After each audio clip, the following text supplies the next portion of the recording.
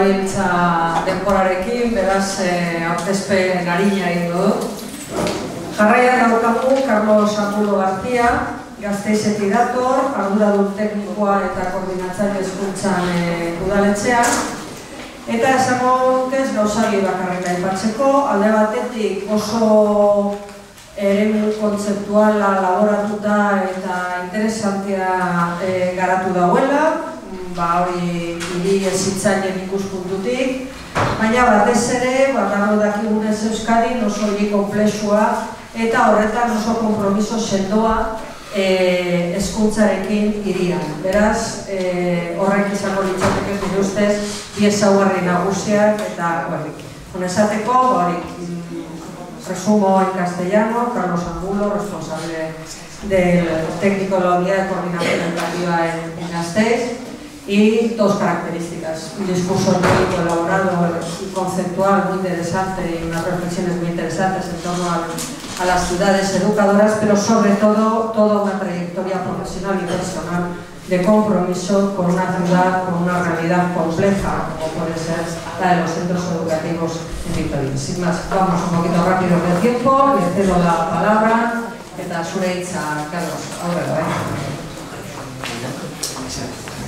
Eh, muchísimas gracias a todo el mundo por, la asistencia y de modo especial a, al Consejo Escolar Fiscali, a usted y de modo significativo eh, Nelly por habernos hecho esta invitación al Servicio Municipal de Educación de, del Ayuntamiento de y a mí como, como representante del mismo.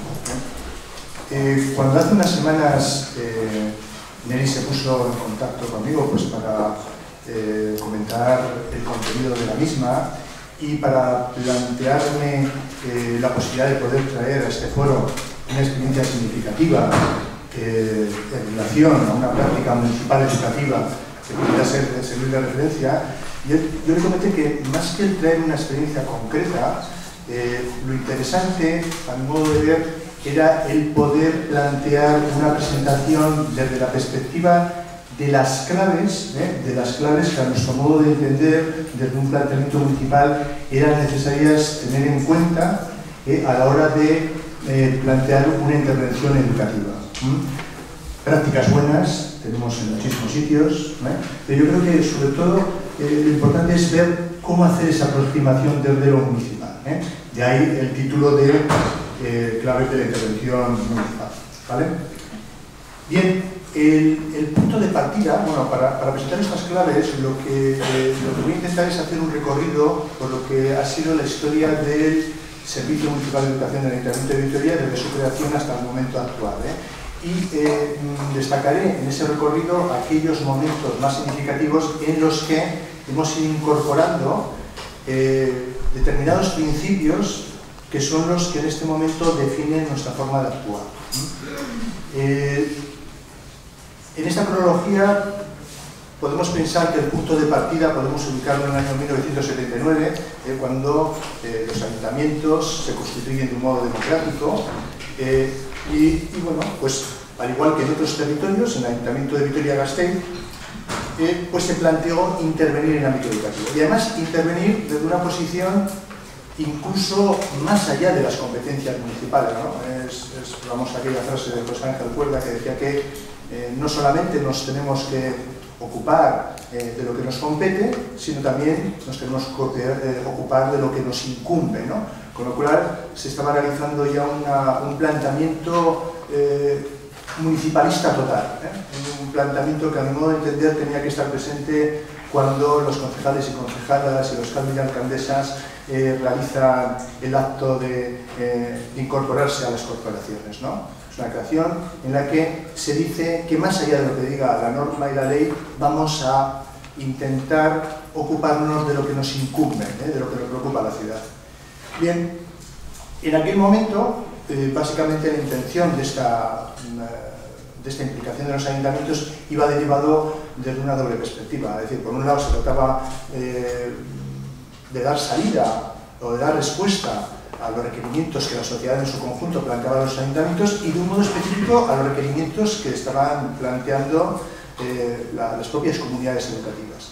Y por otro lado, se trataba también de cubrir las importantes carencias que tenía el sistema educativo, ¿eh? que estamos hablando de la década de los 70, y, hay que decir que en aquellos momentos las carencias eran muy importantes, no solamente en el ámbito de las infraestructuras y de los equipamientos, sino que también tenemos que pensar que en muchos territorios había problemas asociados, por ejemplo, a las ofertas, a la oferta de plazas públicas eh, dentro de lo que eran las ciudades.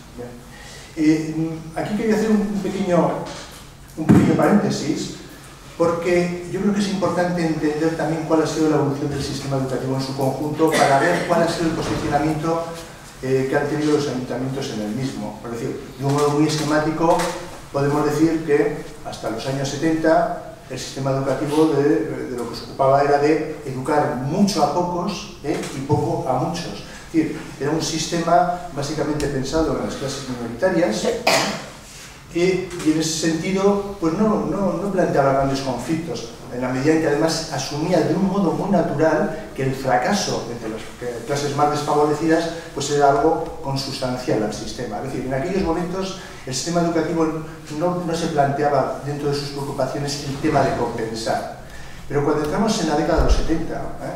finales de los 70, 80, pues aparece eh, un elemento jurídico que es la Ley General de Educación que hace un replanteamiento de todo lo anterior y hace un replanteamiento porque lo que hace es universalizar el sistema educativo. Y el momento en que universaliza el sistema educativo, eh, el, planteamiento ya no es educar mucho a pocos y poco a muchos, sino educar mucho a muchos. Con lo cual eh, se empiezan a plantear unas situaciones nuevas.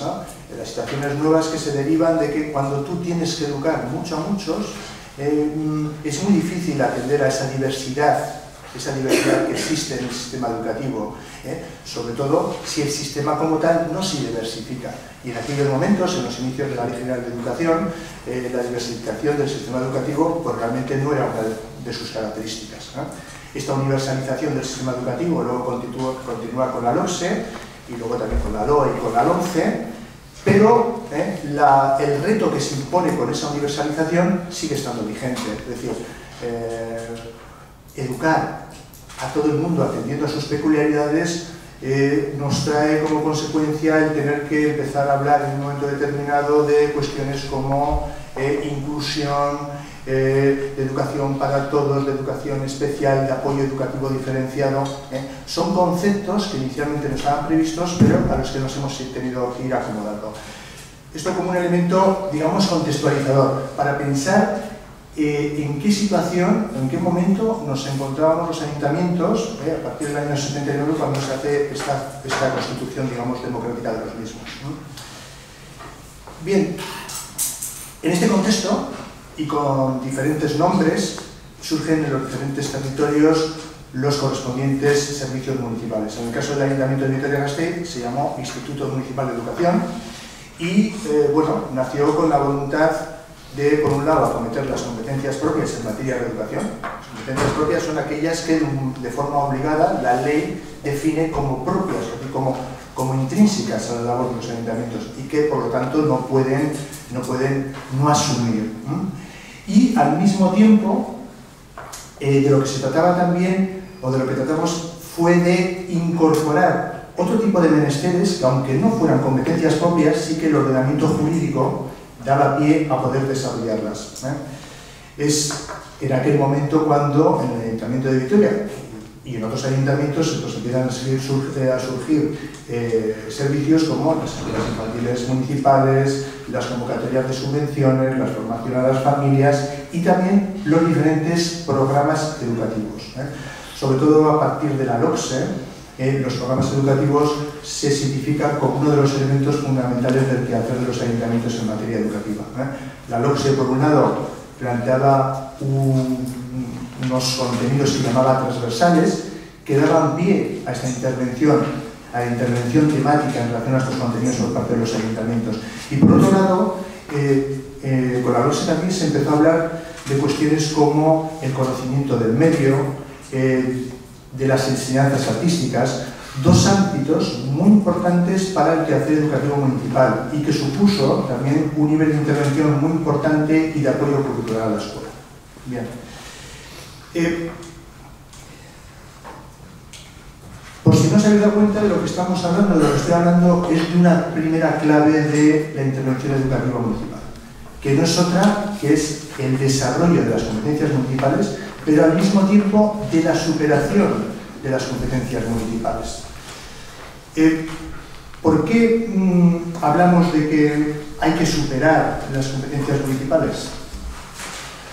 Bueno, aquí hay un par de diapositivas que luego si, si este, este, esta presentación la ponen a vuestra disposición podéis comprobar. Es de, unos trabajos que realiza José Antonio Tardío Pato, un jurista eh, que en el ámbito de la, eh, el ámbito de la eh, legislación que tiene que ver con la educativa es muy importante, y en el que hace un estudio comparado sobre cómo, cómo ha sido el ámbito competencial de los ayuntamientos antes y después de la Ley 27 2013, la que conocemos como Ley de Racionalización y Sostenibilidad de la Administración Local. Eh, en esta línea siguiente diapositiva eh, se pueden visualizar diferentes competencias, las que tienen el símbolo de visto bueno, son competencias que con independencia de lo que dice esta ley en el ámbito de las competencias propias, sí que se entiende que se pueden seguir eh, realizando, y hay unas competencias que aparecen con un signo trazado que de un modo muy evidente desaparecen de este, este ordenamiento público. Pero más allá, más allá de ello, lo que nos interesa es esta imagen. Es decir, es la imagen entre lo que plantea la Ley 27-2013, que, que, lo voy a ver porque realmente el párrafo es muy cortito en cuanto a las competencias propias, y, por otro lado, lo que ocurre a nivel educativo en el ámbito de las necesidades de una ciudad. La ley del 27 2013 en su artículo 25N dice que las, competencias propias de los ayuntamientos en materia de educación son las de participar en la vigilancia del cumplimiento de la escolaridad obligatoria y cooperar con las administraciones educativas correspondientes en la obtención de los solares necesarios para la construcción de nuevos centros docentes, la conservación, mantenimiento y vigilancia de los edificios de titularidad local destinados a centros públicos de educación infantil, de educación primaria y de educación especial. Punto y final. Esto es lo que el ordenamiento atribuye como competencia propia al entrenamiento. Y por otro lado, en el lado derecho de la balanza, tenemos pues, aquellas cuestiones que podemos considerar como necesidades educativas de la ciudad. Eh, son solamente algunas, evidentemente aquí hay cuestiones que tienen que ver con todo lo imaginable. Lo que está claro es que hay una descompensación total. Y lo que también está muy claro es que el sistema educativo como tal, y la escuela como parte del sistema educativo no puede asumir el abordaje de todas estas necesidades educativas.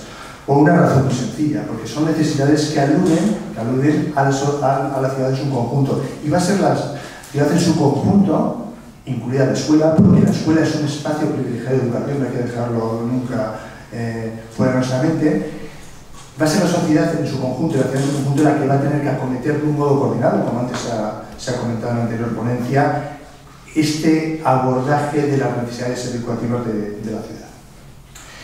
En el caso de, de nuestra ciudad, una forma de, exponer la superación de este marco competencial pues se manifiesta en esto que aparece aquí como actividades educativas municipales. Esto es eh, el título que tiene la oferta educativa municipal que realiza nuestro ayuntamiento todos los meses de septiembre y que se dirige a la ciudadanía en su totalidad. ¿eh? En el año, en el curso 2018-19 fueron aproximadamente 225 programas educativos, no solamente actividades, sino programas educativos dirigidos a la ciudadanía eh, en su globalidad. Aquí podemos encontrar actividades que van dirigidas de un modo explícito a la escuela, con una intencionalidad curricular muy, muy definida. Hay actividades que van dirigidas a otros colectivos de la comunidad escolar, como es el profesorado, las familias. Hay actividades que van dirigidas a colectivos específicos hay actividades que van dirigidas eh, a la totalidad de, la ciudadanía. Pero lo que está claro es que estas 225 actividades, o sea, realizamos estas 225 actividades, nos daremos cuenta que de un modo muy amplio, aquello que tanto la ley de base del régimen local como lo que actualmente dice la nueva ley, bueno, esos límites se ven superados. Se ven superados porque evidentemente hay una voluntad en la ciudad de que esos límites se vean superados y podamos avanzar en un sentido muchísimo más amplio.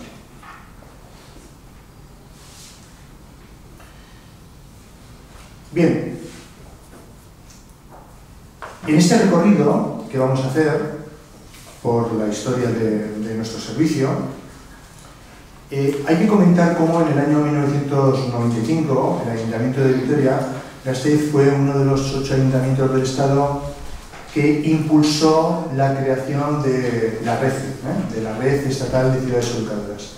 Eh, la red estatal de ciudades educadoras es una red que actualmente agrupa, creo recordar, a 214 ciudades de, de, del Estado y que cuenta, y que cuenta con un documento, con un elemento estratégico que se llama la Carta de las Ciudades Educadoras. La Carta de Ciudades Educadoras ¿eh? es un instrumento político, pedagógico y de movilización de las ciudades eh, que sugiere también a los gobiernos locales que tienen que coordinar la intervención de los agentes, tanto privados como públicos, que se dan cita en la ciudad, para incidir de un modo educativo en el territorio. Y además nos dice que la educación constituye uno de los ejes transversales del proyecto político de una ciudad. ¿no? Bueno, para nosotros la carta eh, es muy importante, o ha sido muy importante. ¿Por qué? Porque la carta eh, nos plantea una serie de principios, en concreto 20 principios, aquí tenemos recogidos algunos de ellos, ¿eh? habla de educación inclusiva, de calidad de vida, de, transversalidad, de impacto educativo, de inclusividad, de diálogo entre generaciones, ¿eh? de urbanismo no segregador, habla de muchas cosas. Y lo, todas esas cosas, todos esos elementos los agrupan 20 principios. Pero lo, lo bueno de estos, o lo interesante de estos 20 principios es que a nosotros como ayuntamiento eh, nos dio un bagaje teórico a partir del cual poder definir los valores educativos de nuestra ciudad. Es decir, el análisis y la reflexión en torno a estos principios nos llevaron, nos llevaron en un momento dado a definir cuáles iban a ser aquellos elementos de referencia en torno a los cuales iba a girar, iba a girar nuestro quehacer educativo, ¿eh? los valores de, de ciudad. En el caso de nuestra ciudad, estos valores educativos son 14, ¿eh? son 14 valores educativos. Mira aquí algunos de ellos, creatividad, identidad, eh, sostenibilidad, igualdad, solidaridad. ¿Por qué son tan importantes estos valores? Pues estos valores son importantes porque eh, van, legados, van legados a la intencionalidad educativa. Es decir, nosotros cuando una intervención educativa, educativa la referenciamos en relación a un valor educativo, lo que hacemos es convertir esa acción educativa en una acción educadora. Es decir, cuando hablamos de algo educativo estamos hablando de que ese algo tiene un potencial, pero para que ese potencial se pueda manifestar, se pueda concretar, pueda ser algo definido, en nuestro caso tiene que, tener como referencia un valor. Es decir, en nuestro caso, cualquier actividad educativa no tiene por qué ser educadora. La actividad educativa será educadora en la medida en que cuente con un valor educativo como referencia, con un valor educativo que desarrollar y alcanzar. Este es el elemento fundamental. Estamos, por tanto, ante el segundo elemento, la segunda clave de lo que queremos que es una intervención educativa municipal, que es el contar con un soporte teórico, ideológico que avale nuestra intervención. ¿no? se puede construir de la nada, hay que tener elementos de referencia claros que guíen nuestra intervención. Bien, en el caso de, de, de nuestra ciudad, eh, lo dicho, eh, la influencia de la Carta de Ciudades Educadoras eh, pues ha sido muy determinante. Al principio realmente no sabíamos cuánto de determinante iba a ser. ¿eh? Estamos pensando, pensad que la carta del año 1990, eh, el tema de la representación de ciudadanos es el año 1995, el equipo técnico del Servicio Municipal de Educación, ya, ya en aquel momento ya habíamos pasado de ser Instituto Municipal de Educación a Departamento Municipal de Educación. El equipo técnico éramos un equipo bastante joven y realmente tenéis que pensar que todo el campo semántico asociado a la idea de ciudad educadora, pues para nosotros fue realmente abrumador. ¿no? eh, cosas que decían los ideólogos y las ideólogas de Ciudad Educadora, pues realmente eh, en algunos casos nos, superaba. ¿no? Eh, Joan Subirats, eh, Corominas, toda esta gente, Juan Manuel del Pozo, nos hablaba de cosas que realmente en principio no entendíamos, nos hablaban de transversalidad, nos decían que la ciudad había que eh, aprenderla con H intercalada, había, decían que, que la ciudad había, que había que aprender de la ciudad, que había que aprender la ciudad, que había que aprender en la ciudad, eh, que las ciudades sean espacios de conflicto, que si las personas tenían muchas dimensiones, bueno, realmente era un bagaje eh, teórico eh, complicado. Complicado, pero al mismo tiempo motivador, es decir, porque a nosotros nos dio pie eh, pues a, poder replantearnos o a poder ponernos a pensar en lo que hacíamos. Y esto es fundamental. ¿eh? Para nosotros es, es fundamental en pensar en lo que hacemos, en disponer de tiempo para reflexionar. Eh, en muchos casos cuando vas por ahí, vas a otras ciudades y, lo típico, ¿no? Te preguntan, ¿y tú dónde trabajas? ¿Y qué haces? ¿Y, bueno, ¿y a qué te dedicas en el servicio de educación? Porque muchas veces decimos en plan, pero bueno, pues nosotros estamos en, yo formo parte de una unidad eh, de una unidad dentro del servicio de educación que se llama coordinación educativa y bueno, pues nos dedicamos a pensar. No es cierto que nos dediquemos a pensar siete horas al día, es imposible. Pero sí que queríamos, queremos poner en relevancia la importancia de disponer de espacios reservados al pensamiento, a la reflexión. Actuar por actuar, en muy pocos casos, sirve de mucho. ¿eh? Y tenemos que pensar en lo que hacemos para saber si lo que hacemos es pertinente, si realmente está sirviendo a lo que hemos planificado. En este sentido, es importante también mostrar otro hito del desarrollo, de la evolución que, hemos seguido en el Servicio Municipal de Educación. Eh, fue en el año 2005 cuando, eh, bueno, nos ponemos a idear o, o, nos planteamos el hacer una evaluación, una evaluación externa de los programas educativos desarrollados por el servicio durante los 15 años anteriores. Y cuando hablamos de una evaluación externa es que contratamos a un equipo, en este caso a un departamento de la Universidad del País Vasco, al departamento MIDE, de Método de Investigación y Diagnóstico de Educación, y desde aquí nuestro agradecimiento pues, a, gente como eh, José Francisco Lucas, o Luis Zasoain, eh, Carlos Santiago, y gente también de otra, universidad, como la Universidad de Deusto, eh, o la de Jiménez, que nos ayudaron en aquel momento, eh, o colaboraron en, la, en realizar esta evaluación externa. Hicimos una evaluación de los programas educativos con la intención, pues ver precisamente cuál había sido la pertinencia de, la misma, ¿no? Y bueno, más allá del resultado, que, bueno, pues fue positivo, eh, lo más importante de, o lo más revelador de, esta evaluación fue el efecto socialmente eh, compensador de algunos de los programas educativos que nosotros estamos desarrollando. ¿Qué significa esto del efecto compensador? Un efecto además que no fue esperado, es decir, no estábamos, no lo, no estábamos tratando de ilusión. El efecto no esperado alucía o, o hacía alusión a lo siguiente. Aquel alumnado de centros en situación de, bueno, centros más desfavorecidos de la ciudad, que participaba en alguno de los programas educativos del Departamento Municipal de Educación, ¿eh? los resultados ligados al currículum de esas materias ¿eh?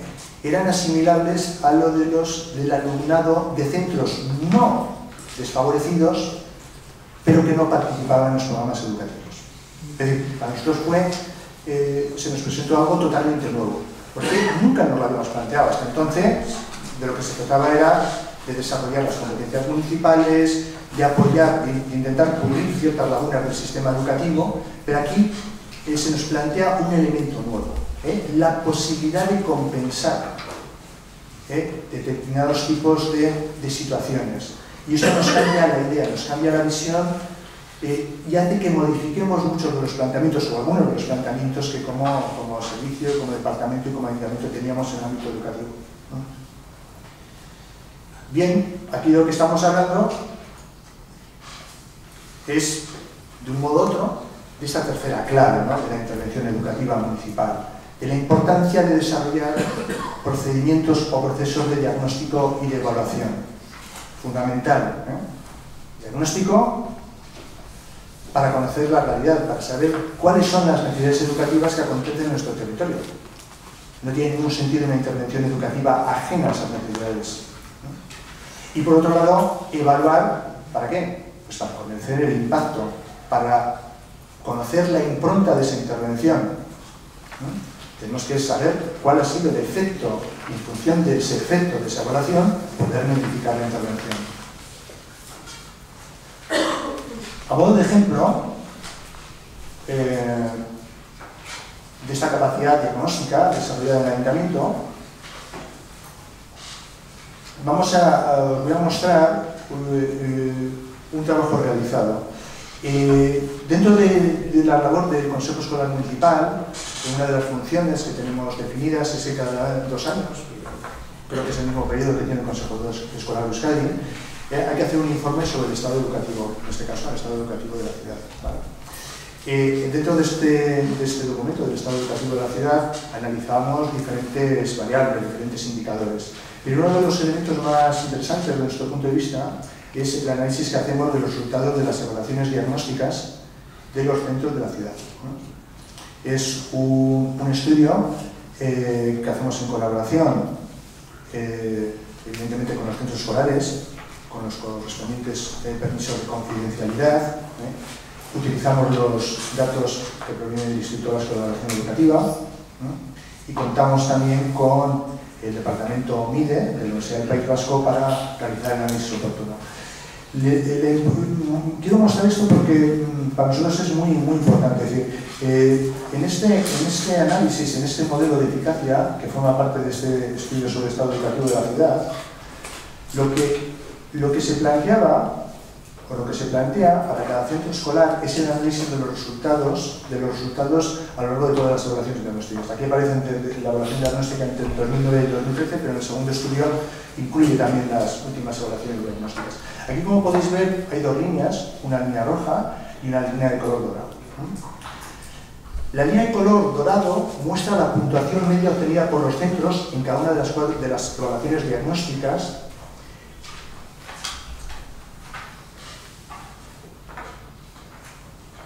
y la línea color rojo lo que nos muestra es la, las puntuaciones estimadas para el centro en función de sus variables contextuales.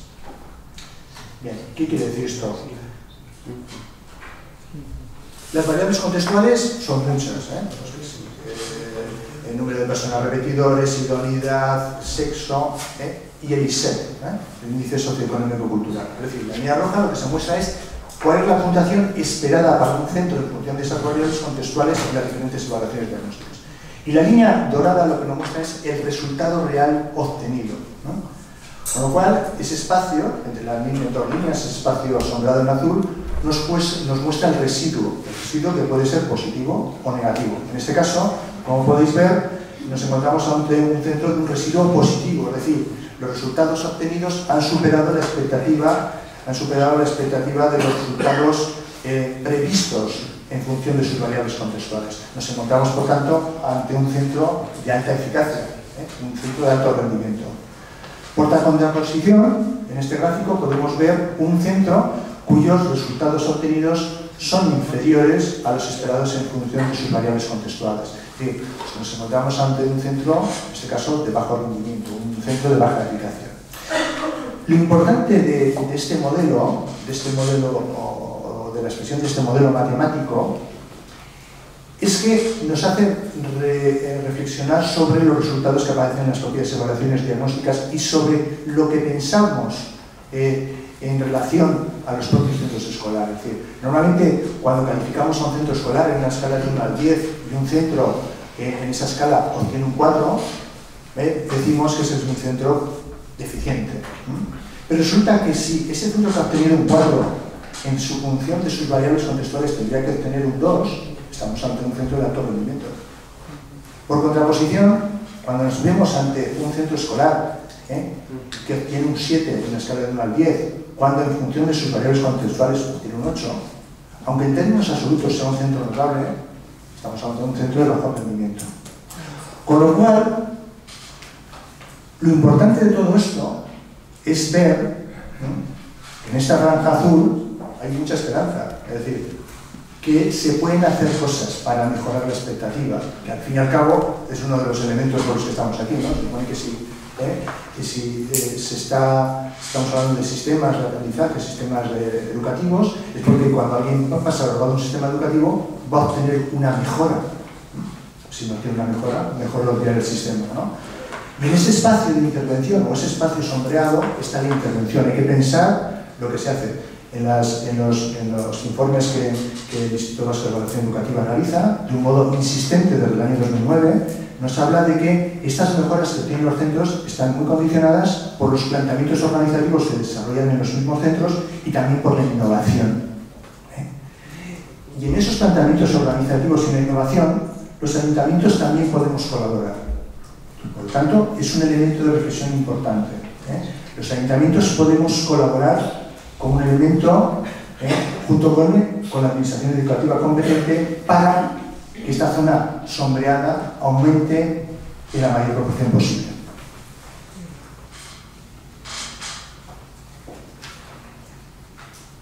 Bien.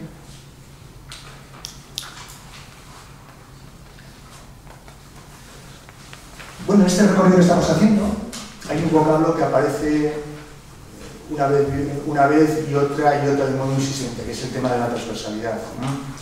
Eh, el título de esta diapositiva, la transversalidad, forma parte del ADN de una ciudad educadora. Es uno de los elementos que la definen y realmente una ciudad que no la contempla, desde la perspectiva de algunos, no tiene la consideración de ciudad educadora. Hay muchos tipos de transversalidad. La transversalidad de la persona, que alude a, las diferentes dimensiones que, que podemos encontrar en la misma, Está la, transversalidad que tiene que ver con los contenidos, pero a mí la que me interesa resaltar en este escenario es la transversalidad que tiene que ver con, con esa faceta de coordinación, de coordinación. He traído una frase de, de Alfonso Mantinelli y Joan Canimas, un artículo que es del año 2002, que titula ¿Qué caracteriza una ciudad educadora?, en la que, de un modo muy concreto, si es posible hablar de concreción, hablar de responsabilidad, se alude a este concepto. La ciudad educadora es un nuevo paradigma que involucra a todos los departamentos y administraciones, lo sitúa en una determinada estructura al servicio de un proyecto compartido. Eh, en este orden de cosas, la transversalidad y la coordinación son necesarias para dar sentido a las actuaciones que incluyen la educación como proceso que se da a lo largo de la vida. Aquí no está hablando de cosas muy importantes, ¿eh? está hablando de que la ciudad es un sistema, de que la respuesta a los sistemas hay que darlos también en forma de sistema, en la medida de lo posible, de que la ciudad es un, ecosistema complejo y eso requiere también de respuestas integrales e integradoras. Bueno, lo que quiero comentar es lo que la transversalidad para nosotros es un elemento de referencia y, una cuestión o un, elemento sine qua non para, para, poder entender la intervención de nuestro ayuntamiento en el ámbito de la educación. Eh, el asunto es cómo hemos abordado la transversalidad en nuestro servicio, en nuestro ayuntamiento. Bueno, pues en primer lugar tuvimos que escribir sobre transversalidad para que en el contexto de nuestra actividad, cuando habláramos de ello, supiéramos de qué estamos hablando. Porque si juntamos a 10 personas y, y, les decimos qué piensan sobre transversalidad, pues aseguro que cada uno va a decir una cosa diferente. ¿eh? En nuestro caso, en el año 2007-2008, fruto de un proceso participativo amplio, a nivel, a nivel técnico, municipal y también de ciudadanía, eh, elaboramos este documento que se llama la transversalidad como elemento de mejora en el Ayuntamiento de Historia de Y lo que hace es describir aquellos elementos consustanciales a la transversalidad desde el punto de vista de la organización y aquellas consideraciones que cualquier intervención para ser considerada como transversal debería cubrir. Bien, lo dejo ahí. Eh, aparte de escribir sobre ello y una vez puestos de acuerdo sobre lo que era la transversalidad en la ciudad, en el ámbito de la intradepartamentalidad o la intramunicipalidad, lo que constituimos es un equipo de trabajo interdepartamental para abordar las consideraciones educativas de la ciudad. ¿eh? En el caso de, nuestra ciudad, este equipo de trabajo ¿eh? recibe el nombre de Victoria Castillo Educadora. Es un equipo de trabajo de aproximadamente 40 personas en el que participan pues, todos los departamentos eh, municipales que desarrollan intervenciones educativas. Es un equipo de trabajo que es el responsable de definir esa oferta que antes recogíamos, esa oferta de las 225 actividades educativas municipales. Es el equipo de trabajo que, que acuerda o que trabaja sobre los valores educativos de ciudad, el que decide cuáles van a ser los diferentes ámbitos temáticos en torno a los cuales se van a desarrollar las intervenciones educativas municipales. ¿eh? Es el equipo que gestiona esas actividades educativas municipales y es el equipo también que comparte, pues, en el ámbito de las aplicaciones informáticas, una serie de recursos que nos permiten también explotar, desde el punto de vista estadístico, todo el conocimiento que se deriva del desarrollo de esas intervenciones educativas. Sin embargo, eh, el ejercicio de la transversalidad no solamente eh, se limita evidentemente al ámbito de la interdepartamentalidad, eh, sino que aborda también el ámbito de la interinstitucionalidad. Y aquí, bueno, pues en título de ejemplo he marcado dos, la relación que mantenemos con el Departamento de Educación del Gobierno Vasco y con la universidad. en este caso, he marcado también algunos de los ejemplos de, esta, de este desarrollo interdepartamental. En el caso de la universidad, desarrollamos un convenio marco eh, que firmamos cada cuatro años y que nos da pie a desarrollar diferentes, a través de diferentes contratos o convenios específicos, pues para analizar diferentes situaciones que tienen que ver con el educativo de la ciudad. ¿eh? El Estado sobre el Estado educativo de la ciudad al que antes hemos aludido está en el contexto de este convenio marco los diferentes estudios que desarrollamos en la ciudad, intentamos desarrollarlos también en el contexto de este convenio marco. En el caso del Departamento de Educación del Gobierno Vasco, hay también diferentes niveles de, colaboración e intervención, pero he traído, este, digamos, por lo cercano y porque, eh, nos parece especialmente eh, importante. Es el protocolo de intenciones entre el Departamento de Educación del Gobierno Vasco y el Ayuntamiento de Vitoria-Gasteiz para la colaboración en el ámbito de la convivencia y la equidad. Un protocolo que se firma en torno a Semana Santa de este año y que va a tener su continuación en un convenio marco específico con este mismo título y con un convenio específico que se aplicará en el curso 2019-2020, en el que se incluirán medidas concretas para desarrollar en el ámbito de la ciudad en estos dos ámbitos, en el ámbito de la convivencia y en el ámbito de la eh, equidad educativa.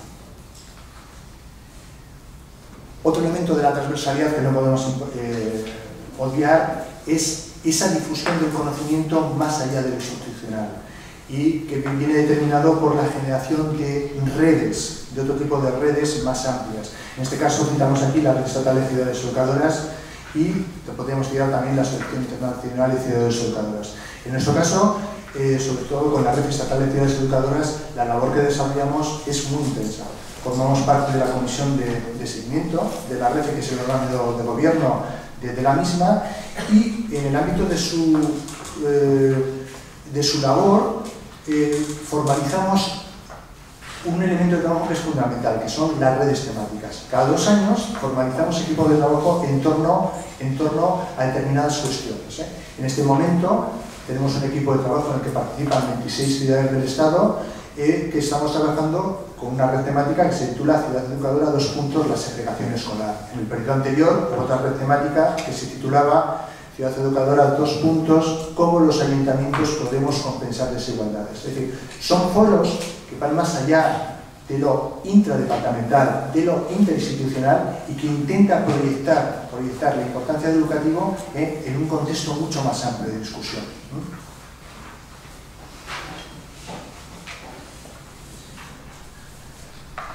Bien. Esta es, ¿eh? evidentemente, la, cuarta clave de la intervención educativa, el tema de la transversalidad interdepartamental e interinstitucional. Eh, hemos citado anteriormente, he citado anteriormente el tema de la intencionalidad educativa, acabo de citar el tema de la transversalidad, pero eh, los he citado porque son dos principios consustanciales de la ideología de ciudad educadora. Pero para que estos principios se puedan desarrollar hay un elemento que no podemos olvidar y es el de la participación. Una participación que, como dice Juan Manuel del Pozo, es un elemento clave del espíritu de la ciudad educadora, ¿no? especialmente útil para la planificación, que va más allá del tópico. La calidad de vida democrática urbana está en directa proporción a la real participación de los ciudadanos y ciudadanas en la vida colectiva. Así se establece que la ciudad educadora fomentará la participación ciudadana desde una perspectiva crítica y responsable, a partir de la suficiente información y de la organización asociativa de las personas. Bueno, desde esta perspectiva, lo que tenemos que entender es que la participación se convierte eh, en una manifestación del liderazgo de la comunidad. Un liderazgo que en nuestro caso se formaliza a través de diferentes instrumentos. Algunos de ellos son formales, como es el caso del, Consejo Escolar Municipal, y otros pues no tan formales, como es el caso de los Ousaguneak y el Carbuneak. En el caso de la ciudad, pues el Consejo Escolar Municipal eh, bueno, es una estructura que la revitalizamos eh, hace ocho años, hace dos legislaturas. En este momento bueno, pues tiene un funcionamiento suficientemente adecuado. No voy a hablar específicamente del Consejo Escolar Municipal porque creo que tenemos un curso de verano eh, la próxima semana en Donostia en el que se va a hablar del, mismo, pero bueno, lo que quiero proyectar es que hay una serie de instrumentos en la ciudad, algunos en el ámbito de la interdepartamentalidad, otros en el ámbito de la interinstitucionalidad, otros en el ámbito de las redes y otros en el ámbito de la ciudad, que a través de los cuales pues, desarrollamos, desarrollamos estos elementos participativos que nos parecen fundamentales ¿no? a la hora de, eh, entender eh, la aproximación al educativo desde una perspectiva municipal. Bien, estábamos hablando de la quinta clave de la intervención educativa que es el liderazgo de participación de la comunidad. Eh, Jacques Halak, que fue director del Instituto Internacional de la Planificación Educativa de la UNESCO, decía que para, eh, para desarrollar socialmente y económicamente había que desarrollar también los recursos humanos. ¿eh? Eh, según las Naciones Unidas hay cinco potenciadores de, de, los recursos humanos, que son la salud, la nutrición, el medio ambiente, el empleo, la libertad política y económica y la educación. Y se nos dice que estos potenciadores están conectados entre sí, pero que la educación es la base de todos ellos. Bien.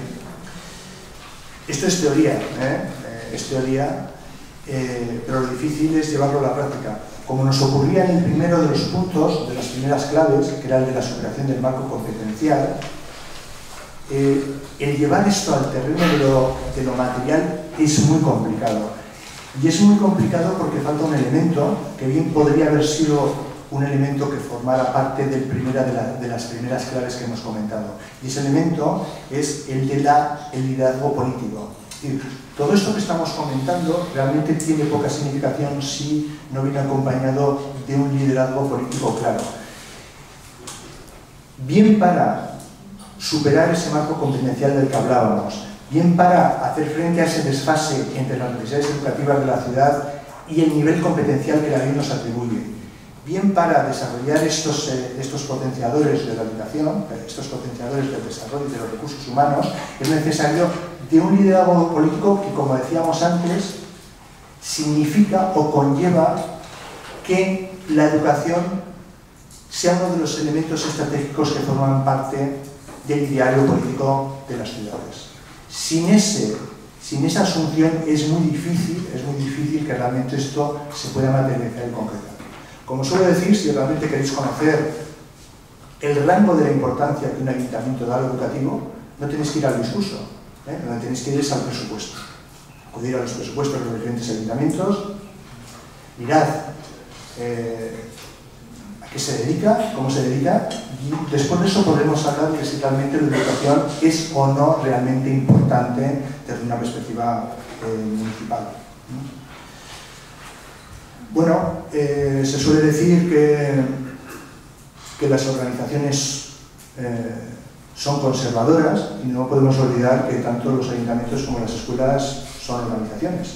Por lo tanto, si como organizaciones asumimos la función de las mismas, que no es otra que dar estabilidad al sistema, y en ese sentido podríamos pensar que sería también el, mantener el status quo, pues la visión igual es muy alentadora, ¿no? Sobre todo si observamos datos como los que hace unos meses sacó la OCDE y que nos decían que cuando analizaban la situación a nivel europeo, decían que en España eh, pues eran necesarias cuatro generaciones para que un elemento, un elemento de una familia de clase desfavorecida pudiera acceder a ser un elemento de una familia de clase media.